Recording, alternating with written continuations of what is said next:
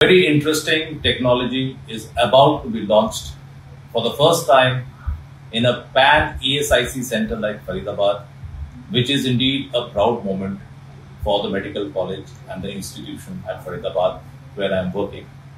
This technology is called NGS, an acronym for Next Generation Sequencing. Now, what does this mean? This means that we do thousands of parallel sequencing and find out the genetic defect, the genetic mutation, or the genetic basis which is driving a disease to become cancerous or malignant. So, this is the most important step, a unique platform which has been set up in our department of microbiology and pathology, where we are going to work on this as a central technology instrument for the entire medical college.